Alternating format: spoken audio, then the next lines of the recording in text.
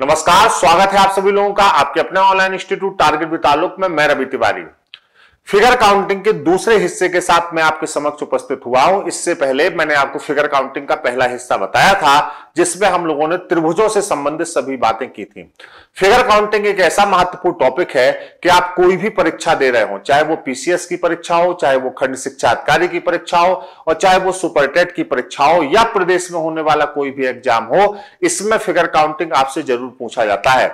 आज के हिस्से में हम लोग वृत्त की बात करेंगे, घन की बात करेंगे, आयत की बात करेंगे, वर्ग की बात करेंगे और समांतर रेखाओं के युग्मों की बात करेंगे। कोशिश करूँगा आपकी परीक्षा के लिए जितना उपयोगी है, उतना फिगर काउंटिंग में आज आपको ज़रूर बताऊँ, ताकि आपके दो तीन नंबर जो इस हिस्से से बनते हैं, वो आपके पूर्ण हो जाए। इसी क्रम में आइए हम लोग आज की कक्षा की शुरुआत करते हैं। सबसे पहले देखते हैं, देखिए, संस्थान की तरफ़ से एक सूचना आपको प्रदान कर दूँ कि हमारे यहाँ सुपर टेट और बीईओ दोनों ही बैच संचालित हो रहे हैं। सुपर टेट का बैच बिल्कुल नया है, जिसमें आज से ही कक्षाएँ प्रारंभ हुई हैं और आज से पाँच से छह कक्षाएँ यहाँ पर नियमित संचालित होनी प्रारंभ हुई हैं। शेष बची कक्षाएँ सोमवार से प्रारंभ हो जाएँगी। मैंने पूरा टाइम टेबल और शेड्यूल आज बैच में डिस्कस किया है है ना? आप में से अभी भी अगर जो लोग सुपर टेट में जुड़ना चाहते हैं तो है वो व्हाट्सएप पर एंट्री सुपर टेट लिखकर इस नंबर पर भेज दें। जैसे ही आप इस नंबर पर भेजेंगे, हमारी टीम आपसे संपर्क करेगी और एक घंटे में आपका एडमिशन सुनिश्चित हो जाएगा। क्योंकि आप देर मत करिए। खंड शिक्षा अधिकारी के लिए अगर आपको एडमिशन लेना है तो ये बैच भी हमारा चल रहा है। लगभग लगभग 20 दिन इस बैच को हो गए हैं। लगातार सदस्य इस बैच से भी जुड़ रहे हैं। अगर खंड शिक्षा अधिकारी के लिए आपको एडमिशन लेना है, प्रवेश लेना है तो आप इस नंबर पर एंट्री लिखकर भेज दीजिए।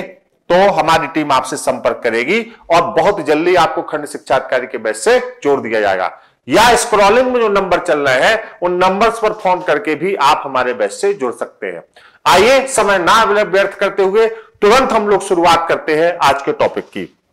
जब मैंने आपको त्रिभुज बताए थे तो त्रिभुज में मैंने काफ़ी आकृतियाँ आपको बताई थी और मैंने आपको बताया था क्या आपकी खूबसूरत आँखों को ये चीज़ें दिखाई दे रही हैं? तो आप लोगों ने ज़बरदस्त कमेंट किए थे हाँ सर, हमारी खूबसूरत आँखों को ये सुंदर चीज़ें दिखाई दे रही है। आइए, आज फिर देखते हैं कि आपकी खूबसूरत आँखों को क्या क्या दिखाई दे रहा है।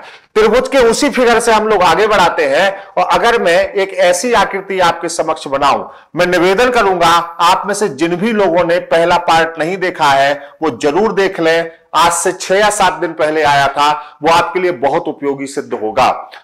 अगर हम ऐसी कोई आकृति बनाते हैं और इस आकृति में हम इस तरीके से लाइन खींचते हैं, इस तरीके से अगर हम लाइन खींचते हैं, इससे पहले की आकृति मैंने आपको बताई थी और मैं अगर यहाँ से आपसे पूछ लूँ कि इस आकृति में आपकी खूबसूरत आँखों को कितने त्रिभुज दिखाई दे रहे हैं तो आपका उत्तर क्या होगा? पहले आप लोग उत्तर करिए।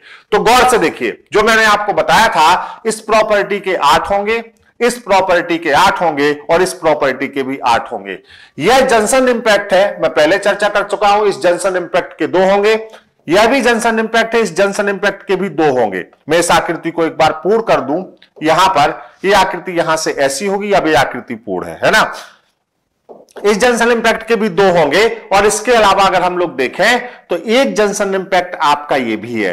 अब ये जंक्शन इंपैक्ट जो है, ये दो का जंक्शन इंपैक्ट नहीं है। मैंने आपको बताया था कि जब दो आकृतियाँ परस्पर एक दूसरे से मिलती हैं तो जो दो का जंक्शन इंपैक्ट बनता है, वो हमेशा दो नए ट्राइंगल देता है। दो त्रिभुजों का जंक्शन इंपैक्ट यहाँ पर गौर से देखिए, तीन त्रिभुजों का जंक्शन इंपैक्ट है, और ये तीन त्रिभुजों का जंक्शन इंपैक्ट एक नया परस्पर ट्राइंगल यहाँ पर दे देगा, जो इससे पहले इस आकृति का हिस्सा नहीं था, और यह जो एक ट्राइंगल होगा इसको काउंट करने के बाद अगर हम देखें तो यहाँ पर त्रिभुजों की संख्या जो कुल हो जाएगी, वो कितनी हो जाएगी आपकी? 29 हो जाएगी 29 हो जाएगी। क्लियर है? तो यहाँ पर इस आकृति में जो त्रिभुजों की वास्तविक संख्या होगी, आपकी वो कितनी होगी? 29 होगी। आइए, अब यहाँ से हम लोग बात करते हैं, आगे बढ़ते हैं और बात करते हैं यहाँ से कि हम वर्गों की संख्या को कैसे गिनते हैं। जब आपकी परीक्षा होती है तो वहाँ पर सवाल आता है कि वर्गों की संख्या क्या है? ध्यान दीजिए, वर्गों की संख्या क्या है? अब वर्गों की जो संख्या होती है, वो दो आकृतियों में होती है। एक तो वर्गों की संख्या होती है आयत में, और एक वर्गों की संख्या होती है वर्ग में। इसका मतलब है, जब परीक्षा में सवाल पूछा जाता है तो आपसे कोई ये नहीं बताया जाता कि आपको आयत में वर्ग निकालने हैं कि वर्ग में वर्ग निकालने हैं। बल्कि आपसे यह पूछा जाता है कि दी हुई आकृति में वर्गों की संख्या क्या होगी। अब वो आकृति आयत है कि वर्ग है, ये आपको तय करना पड़ेगा। अगर आपने तय कर लिया कि वो आकृति आयत है तो आप आयत में वर्गों की संख्या निकालेंगे। और अगर आपने तय कर लिया कि वो आकृति वर्ग है तो आप वर्ग में वर्गों की संख्या निकालेंगे। यहाँ पे मैं एक चीज़ आप लोगों को स्पष्ट कर दूँ कि जब हम वर्बल रीजनिंग में होते हैं, या हम आंकिक मान जब कहीं हल कर रहे होते हैं तो हम वर्ग और आयत को बहुत आसानी से पहचान सकते हैं। लेकिन नॉन वर्बल रीजनिंग में जब हम फिगर काउंटिंग में होते हैं तो हम वर्ग और आयत को आसानी से नहीं पहचान सकते। जैसे मान लीजिए, अगर यहाँ पर लिखा है कि किसी आकृति में वर्गों की संख्या क्या है तो सबसे बड़ी चुनौती यहाँ पर आपके सामने यह है कि हम उस आकृति को कैसे पहचाने कि दी हुई आकृति वर्ग है या आयत है। सबसे पहले तो हमें यह देखना है। तो देखिए मैं अंतर आपको ऐसे स्पष्ट करूँ। मान लीजिए हम वर्बल रीजनिंग में हैं और यहाँ पर मैंने लिखा पाँच, सात सात, पाँच। आपने तुरंत कहा, ये रेक्टेंगल शेप है, आयत है। क्यों है? क्योंकि आपने कहा, आमने सामने की भुजाएँ बराबर हैं तो क्या है? आयत है। अगर मैंने यहाँ पे एक आकृति बनाई और मैंने यहाँ पे लिखा, पाँच पाँच पाँच और पाँच। तो आपने कहा, चारों भुजाएँ बराबर है और दी हुई आकृति क्या होगी, बताइए? वर्ग होगी। आपने आसानी से पहचान लिया। अब नॉन वर्बल में जब हम होते हैं तो ये सुविधा नहीं है। तो नॉन वर्बल में हम कैसे पहचानते हैं? मान लीजिए, अगर हम दो एक जैसी आकृतियाँ यहाँ पर बना दें। जैसे मैंने यहाँ पर एक आकृति खींची यहाँ पर, ऐसे। और लगभग लगभग इसी से मिलती जुलती हमने एक और आकृति यहाँ पर खींची, इस प्रकार से। यहाँ पर एक और आकृति खींची इस प्रकार से। मैंने कहा, कौन सी आकृति वर्ग है, कौन सी आकृति आयत है? अब आपके पास आंकिक मान तो लिखा नहीं है तो हम तय कैसे करेंगे कि कौन सी आकृति वर्ग है और कौन सी आकृति आयत है? गौर से यहाँ पर देखिएगा। यहाँ पर तय करने का केवल एक ही रास्ता है। हम रोअर कॉलम्स की संख्या को गिन लेते हैं। जैसे यहाँ पे हमने गिना एक, दो, तीन। इस तरह की जो आकृति होती है, जो यहाँ पे आकृति होती है क्षैतिज, जिसको कहते हैं रो, पंक्तियाँ। और इस तरफ़ की जो आकृति होती है, इसको कहते हैं कॉलम स्तंभ। और यहाँ पर हमने जब कॉलम गिने तो कितने हो गए? चार। जब रो की संख्या कॉलम की संख्या के बराबर ना हो तो दी हुई आकृति जो होगी, आयत होगी। केवल एक ही तरीका है इसको पहचानने का। जब row is not equal to column, well, row is not equal to column तो दी हुई आकृति जो होगी, वो क्या होगी? आयत होगी। ध्यान रखिए। अब यहाँ पर हमने गिना एक, दो, तीन। और एक, दो, तीन। अगर रो और कॉलम की संख्या बराबर है when row is equal to column तो दी हुई आकृति क्या होगी? वर्ग होगी। इस आकृति की पहचान आप स्वयं करेंगी। वर्गों की संख्या यहाँ पे लिखा होगा, लेकिन दी हुई आकृति की पहचान आप स्वयं करेंगे। अगर आपने पहचान लिया कि दी हुई आकृति आयत है तो आप आयत में वर्गों की संख्या निकालेंगे और अगर आपने पहचान लिया कि दी हुई आकृति क्या है, बताइए, वर्ग है तो आप वर्ग में वर्गों की संख्या निकाल लेंगे। केवल पहचान ही कठिन है। पहचान आसान हो गई तो आपकी खूबसूरत आँखें इसको तुरंत देखने लगेंगी कि कितने आयत है, कितने वर्ग है। आइए एक स्टेप आगे लेते हैं, है ना? जब आनंद आए तो कमेंट्स भी आनंद वाले किया करिए नीचे। आइए, जैसे मान लीजिए यहाँ पे हम लोग देखें यहाँ पर, सबसे पहले हम देखते हैं, वर्ग में वर्गों की संख्या कैसे ज्ञात करते हैं। वर्ग में वर्गों की संख्या को हम कैसे ज्ञात करते हैं, सबसे पहले हम इसको देखते हैं। जैसे मान लीजिए मैंने कोई आकृति बनाई।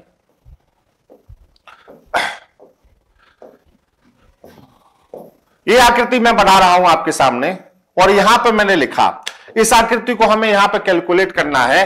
एक, दो, तीन, चार, पाँच। एक, दो, तीन, चार, पाँच। अब row is equal to column तो आप ये तो तय कर लिए कि आकृति वर्ग है। निश्चित तौर पर तौर पर क्या है? वर्ग है।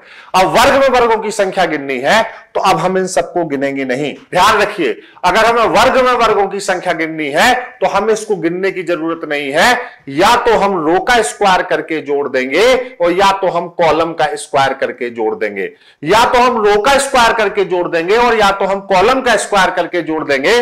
तो यहाँ पर देखिए, ये कितना होगा? 25 ये कितना होगा? 16 ये कितना होगा बताओ नौ, ये कितना होगा चार और ये कितना होगा एक। सबको यहाँ पर जोड़ दें अगर हम तो छह, पाँच, ग्यारह, नौ, बीस बीस, चार, चौबीस, एक, पच्चीस, पाँच, दो कैरी किया और दो और एक, तीन और दो कितना हो गया पाँच। तो दी हुई आकृति में जो वर्गों की संख्या होगी वो कितनी होगी बताइए? पचपन होगी। क्लियर हुई आपकी बात? दी हुई आकृति में वर्गों की संख्या कितनी होगी? पचपन होगी। तो आसान तरीका है। अगर आकृति वर्ग है तो या तो हम रो का स्क्वायर करके जोड़ देंगे, या तो हम कॉलम का स्क्वायर करके जोड़ देंगे। अब अगर यदि, जैसे एक आकृति में आपके समक्ष प्रस्तुत करता हूँ, चलिए, मैं कहूँ इस आकृति में वर्गों की संख्या क्या होगी, तेज़ी से बताइए। चलिए, आप तुरंत गिन के बता दीजिए, जैसे छोटी छोटी आकृतियाँ आपसे पूछी जाती है। अगर मैं कह दूँ इस आकृति में वर्गों की संख्या क्या है, तुरंत कमेंट करिए। मैं पढ़ रहा हूँ आपके कमेंट चलिए एक, दो, तीन और एक, दो, तीन। तुरंत देखना है तो बताओ, तीन तिर का नौ, दो दूनी चार और एक है। नौ, चार, तेरह, एक, चौदह तो इस आकृति में वर्गों की संख्या? कितनी होगी? चौदह।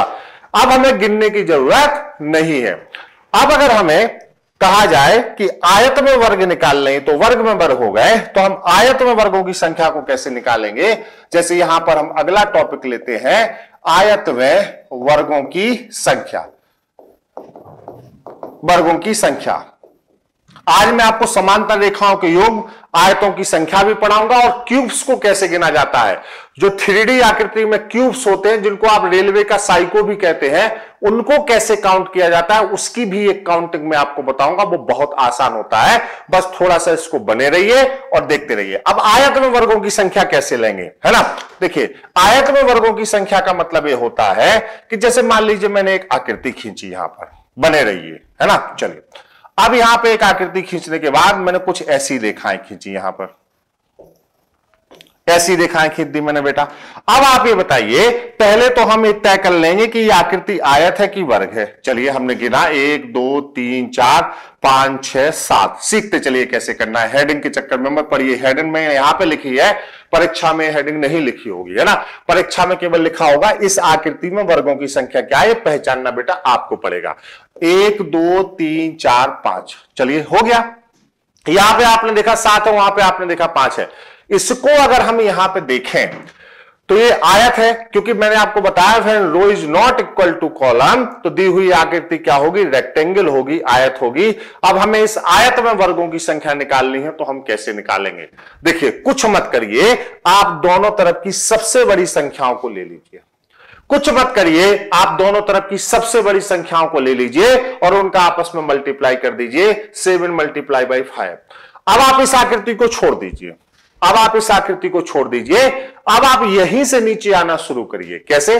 Seven multiply by five. तो अब ये एक एक कम करिए। Six multiply by four. फिर एक कम करिए। Five multiply by three. फिर एक कम करिए। Four multiply by two. फिर एक कम करिए। Three multiply by one. अगर हमने यहाँ पे ऐसे कर लिया क्लियर? तो इसका मतलब ये क्या होता है? थर्टी फाइव होता है, ये क्या होता है? ट्वेंटी फोर होता है, ये क्या होता है? पंद्रह होता है, ये क्या होता है? आठ होता है, ये क्या होता है? तीन होता है। अगर हम इन सबको जोड़ दें मतलब आपको कहाँ तक कैलकुलेट करना है? जैसे ही कहीं भी एक आ जाए, आपकी कैलकुलेशन क्या हो जाएगी? रुक जाएगी। अगर हम इसको जोड़ दें तो पाँच और चार, नौ, पाँच, चौदह, और चौदह और आठ कितना हुआ? बाईस, और बाईस और तीन कितना हुआ? पच्चीस, पाँच, दो कैरी किया यहाँ पर। तीन दो पाँच दो सात और एक आठ पचासी एट्टी फाइव हो गया तो इस अभीष्ट आकृति में वर्गों की संख्या कितनी होगी बताइए? पचासी होगी तो हमारा उत्तर यहाँ पे क्या होगा? 85 होगा। बहुत जहमत उठाने की ज़रूरत नहीं है। आसान कैलकुलेशन होती है। गिनते वो हैं जो बाहुबली होते हैं। और बाहुबली बहुत बाहुबली वाला काम करते हैं, क्योंकि अगर हम इसमें पचासी गिनने के लिए गए तो इसका मतलब हम बाहुबली हैं। एग्ज़ाम में हमें बाहुबली नहीं बनना है। एग्ज़ाम में हमें स्मार्ट बनना है है ना? क्योंकि वो बाहुबल दिखाने का समय नहीं है, वो ट्वेंटी ट्वेंटी खेलने का समय है, और उसमें यहाँ से आपको काम लेना है, क्योंकि यहाँ से अगर आप काम नहीं लेंगे तो ऐसी नॉलेज आपकी किसी काम की नहीं है, जो आपकी टाइम के साथ नहीं है। अगर आपने इसको गिनने में तीन मिनट खराब कर दिए, मैं वादा करता हूँ पचासी नहीं गिन पाएँगे। क्योंकि बहुत सारे वर्ग इसमें होंगे, पहले एक एक के वर्ग होंगे, फिर दो दो के वर्ग होंगे, फिर तीन तीन के वर्ग होंगे। तो कैलकुलेशन कैसे करेंगे? तो ऐसी प्रक्रियाओं से क्या करें? बचे और आसानी से परम्यूटेशन कॉम्बिनेशन से हल होता है। लेकिन परम्यूटेशन कॉम्बिनेशन का कहीं मैं नाम नहीं ले रहा हूँ। मैं क्रमचय संचय ही आपको पढ़ा रहा हूँ, लेकिन दूसरे तरीके से पढ़ा रहा हूँ कि आपको पता भी ना चले और आपका टॉपिक भी क्या हो जाए, हल हो जाए और कठिन भी ना लगे। इसी प्रवृत्ति का एक सवाल आपको देता हूँ। चलिए, अगर मान लीजिए मैंने आपको एक आयत दिया, कुछ इस तरीके से। चलिए, मैंने कुछ इस तरीके से एक आपको आयत दिया, है ना? और मैंने कहा कि इस आयत में आपको वर्गों की संख्या बतानी है। मैं पहले से बता दे रहा हूँ कि आयत है। चलिए, मैंने आपको यहाँ पे एक आयत दिया यहाँ पर। चलिए, है ना? इस तरीके से आयत दिया, है ना? अब पहले तो काउंटिंग करेंगे। जब काउंटिंग करेंगे तो कहेंगे एक, दो, तीन, चार, पाँच और एक, दो, तीन, चार, पाँच, छह। अब आपने समझ लिया कि आयत है क्विक आंसर करिए। आप में से सभी लोग आंसर करिए। जो जहाँ से देख रहा हो, पहले तो अपना शहर आंसर करिए और आंसर करिए क्या आनंद आ रहा है, बताइए कितने होंगे। काउंट करिए तो आप कहेंगे छत। अब देखिए, क्या करना है? दोनों तरफ़ की सबसे बड़ी संख्याओं को लेना है। तो यहाँ की सबसे बड़ी संख्या क्या होगी? छह और यहाँ की क्या होगी? पाँच। मल्टीप्लाई करिए, six multiply by five. Five multiply by four. Four multiply by three three multiply by two और टू मल्टीप्लाई बाई वन। एक एक नीचे करते हुए आइए और तब तक नीचे करते हुए आइए जब तक एक ना आ जाए। अब तीस ए हो गया, बीस ए हो गया, बारह ए हो गया, छह ए हो गया और दो ए हो गया। अगर हम इन सबको जोड़ दें तो बताइए, छह दो आठ दो दस ज़ीरो, कितना कैरी किया बताइए यहाँ पर? एक कैरी किया और तीन दो पाँच और एक छह और छह एक सात, कितना हो गया? सत्तर। इस अभीष्ट आकृति में वर्गों की संख्या कितनी हो गई? सत्तर हो गई। तो आप कहेंगे, सर, सत्तर हो गई। क्लियर है?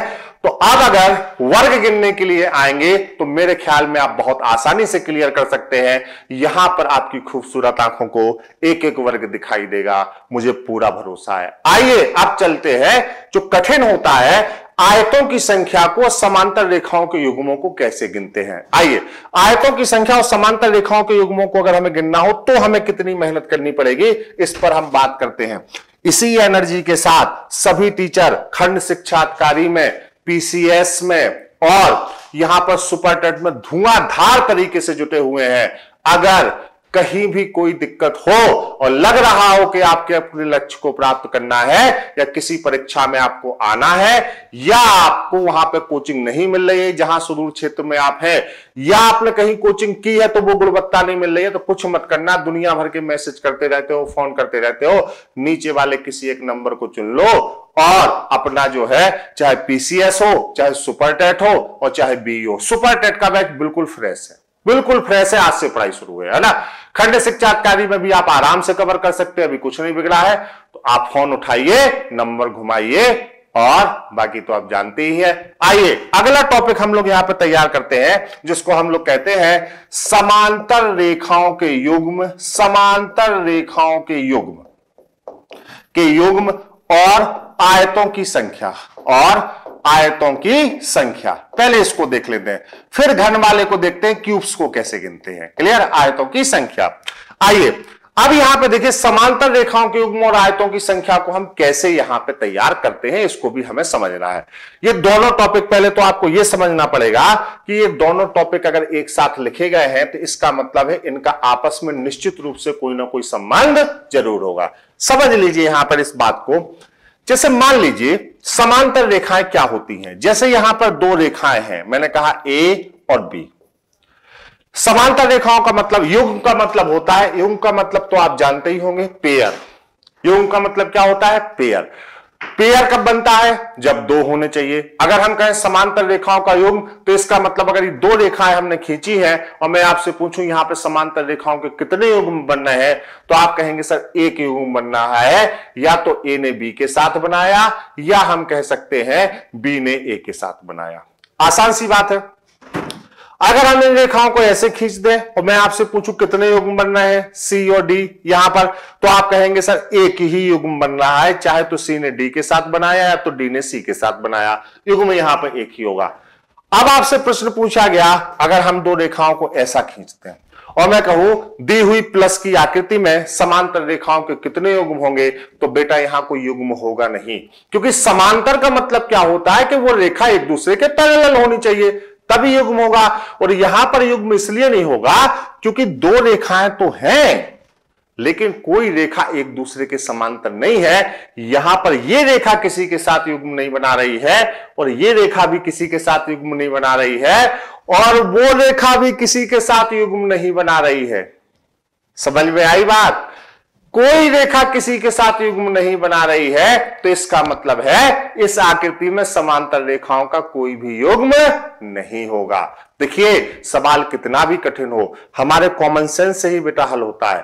कोई कोई आईएएस में भी वही चीज़ पूछी जाती है पीसीएस में भी वही चीज़ पूछी जाती है वीओ में भी वही चीज़ पूछी जाती है बसरते उस टॉपिक को जब आपने पढ़ा तो आपका नज़रिया कितना था? कोई टॉपिक कठिन नहीं है। इस दुनिया में जिस टॉपिक में आप इंटरेस्ट ले लें, वो टॉपिक आसान है। जिस सब्जेक्ट में आप इंटरेस्ट ले लें, वो सब्जेक्ट आसान है। बस हिम्मत लगा के करने की ज़रूरत है। अगर हमने पूरे मनन के साथ उसको किया है, निश्चित रूप से वो टॉपिक हमें आएगा। आप क्या करते हैं? जब कोई टॉपिक नहीं आता तो आप उसको छोड़ देते हैं। नहीं, छोड़िए मत, छेड़िए। जब तक उस टॉपिक को छेड़िए, जब तक वो आपको आ ना जाए और आने के बाद ही छोड़ लीजिए है ना? क्या है? या तो मान लीजिए कि नहीं आएगा, या तो ठान लीजिए कि करके मानेंगे। जो लोग मान लिए कि नहीं आएगा, उनको नहीं आया। बहुत से लोग कहते हैं, हमारी गणित कमज़ोर है, हमारी अंग्रेज़ी कमज़ोर है, हमारी रीजनिंग कमज़ोर है, कोई कहते हैं, हमारी अर्थव्यवस्था कमज़ोर है। क्यों कमज़ोर है? आपने उसको छोड़ के रखा है। अगर आप ठान लेते कि जब तक हम ये समझ नहीं लेंगे, जब तक हम आगे नहीं बढ़ेंगे तो आज जैसे आप और टॉपिक्स में एट होम में दक्ष है, वैसे ही आज आप उस टॉपिक में भी एट होम होंगे, दक्ष होंगे। तो आज से किसी चीज़ को छोड़ना नहीं है, छेड़ना है। और जब तक उसको छेड़े रहना है, जब तक उसको उठाने रहना है, जब तक कि वो टॉपिक आपको आना जाए। तो यहाँ पे बताओ बेटा, समांतर रेखाओं के कितने युग्म होंगे? कोई युग्म नहीं होगा, क्योंकि कोई रेखा किसी के समांतर है ही नहीं। अगर मैं एक लाइन और खींच दूँ अब एक युग्म होगा। क्योंकि इस रेखा ने इस रेखा के साथ युग्म बनाया, इसका कोई काम नहीं। अब मैं इसको खींच दूँ तो ये रेखा इसके साथ बनाएगी। तो अकेली रेखा समांतर रेखाओं के कभी भी युग्म को नहीं बना सकती। आप भी ये बात जानते हैं, मैं भी ये बात जानता हूँ। अब मान लीजिए तो दो दो रेखाओं का मामला था। लेकिन सपोज़ करिए कि अगर ये दो रेखाएँ ना हो, कि मैं बहुत सारी रेखाएँ खींच दूँ, और मैं कहूँ कि यहाँ पर जो रेखाएँ खींची गई है ये रेखाएँ, या मैं इस सवाल को लैंग्वेज में भी पूछ लू? एक, दो, तीन, चार, पाँच, छह, सात, आठ, नौ। मैं कह दू कि एक पृष्ठ पर नौ ऊर्ध्वाधर समांतर रेखाएँ खींची गई हैं। बताइए, नौ ऊर्ध्वाधर रेखाएँ समांतर रेखाओं के कुल कितनी युग्म बनाएँगी आसानी से पूछ लिया।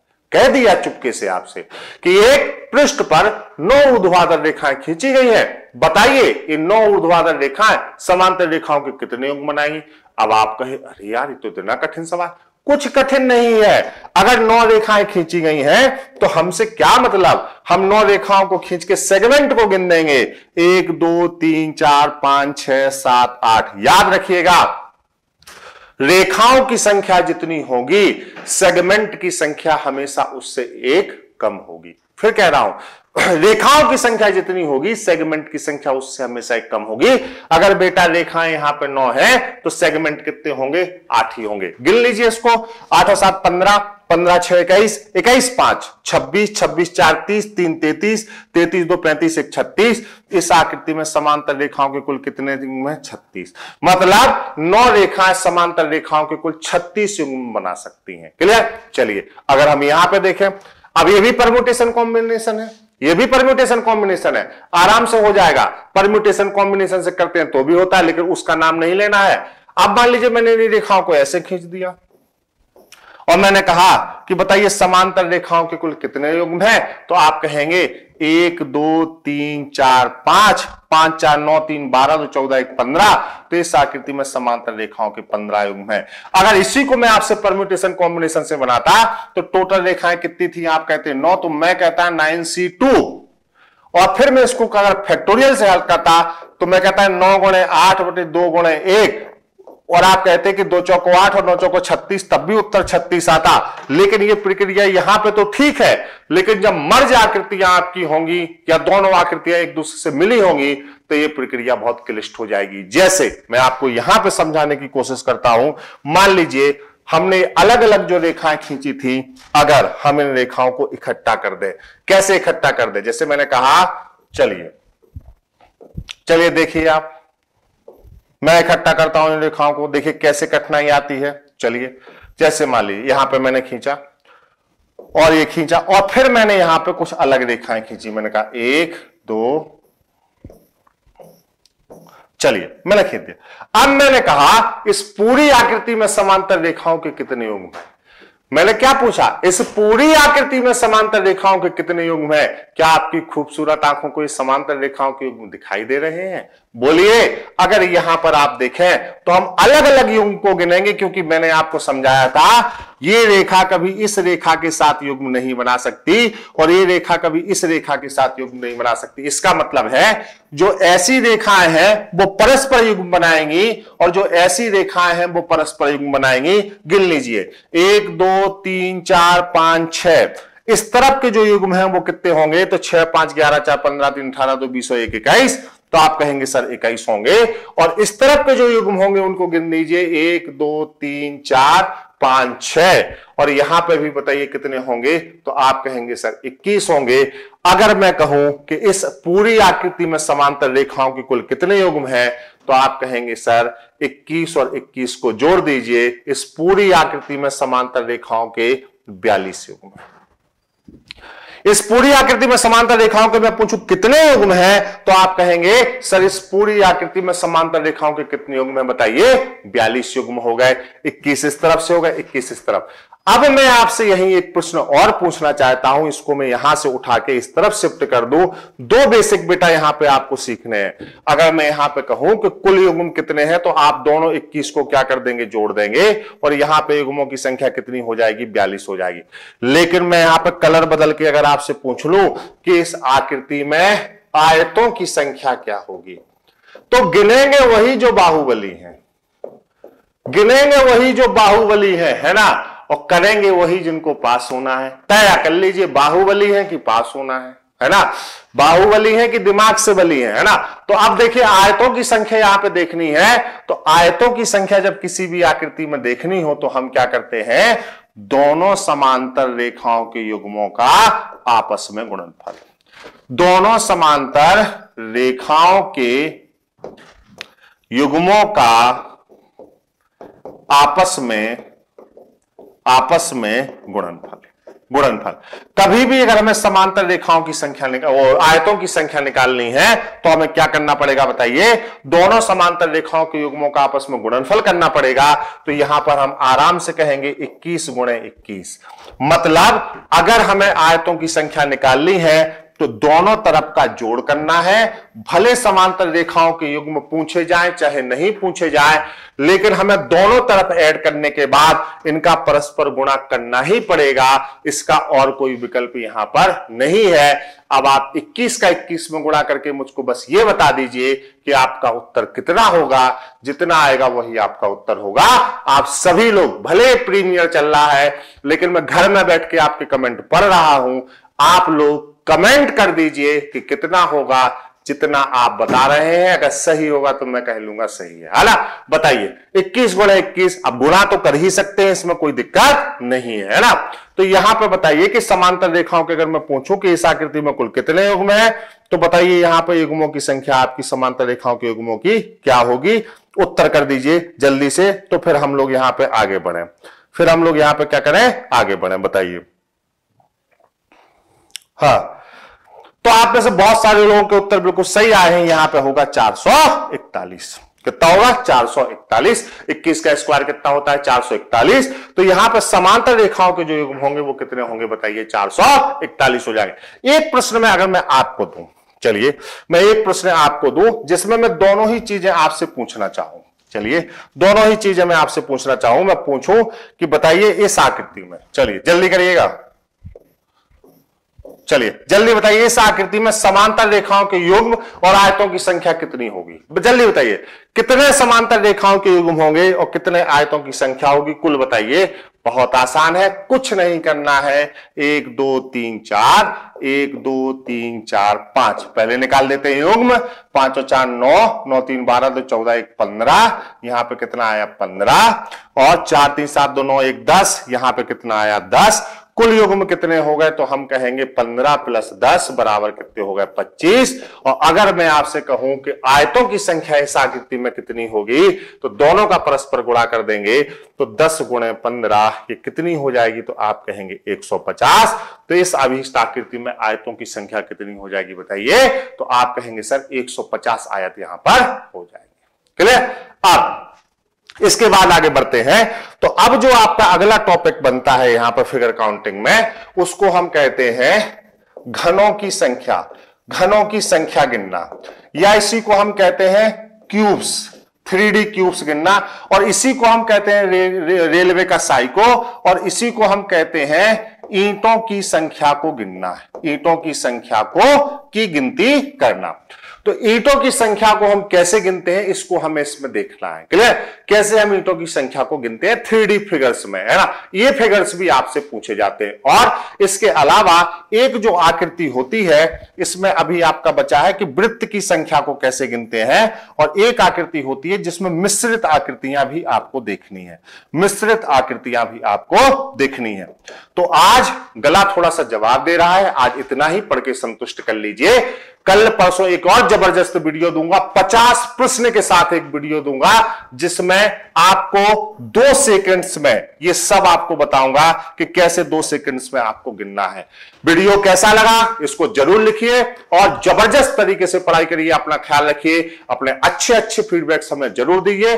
Thank you so much love you all take care आप हमें कहाँ से देख रहे हैं, ये ज़रूर लिखें। Target with Alok online institute पूरी तरह से प्रतिबद्ध है आपको ज़बरदस्त और शानदार शिक्षा देने के लिए। थैंक यू सो मच हम लोग इसी तरह अपना प्रयास करते रहेंगे। थैंक यू नमस्कार।